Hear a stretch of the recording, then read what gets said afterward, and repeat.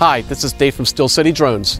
Today we are going to do a search and rescue demonstration uh, utilizing the new FLIR thermal camera technology that we are incorporating in our drones. And we're going to basically have an actor that's going to go ahead and pretend that he's fleeing police and he's going to go down those toward those uh, flight of steps and into the woods.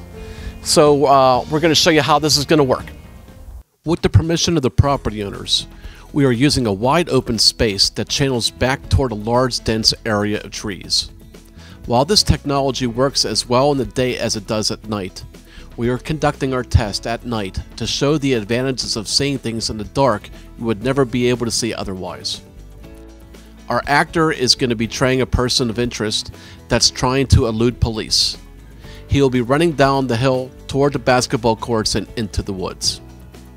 As you can see when switching over to nighttime, the test area is very poorly lit, and with the actor wearing dark clothes, you can barely see him in the lighted area.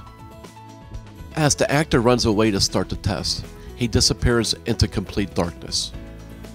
So here is what the FLIR thermal camera technology looks like and you can clearly see the actor running away from the building toward the basketball court and into the woods. Here's another angle of the actor running away, trying to hide, and running away from the building into the dense trees. Even our actor couldn't see very well 10 feet in front of him without the aid of any flashlight. Watch how as the actor moves through even the densest of trees, the camera is still able to pick up the actor. Through the drone app, you can pick a wide variety of different color schemes to represent different color temperatures as it's completely customizable to your needs.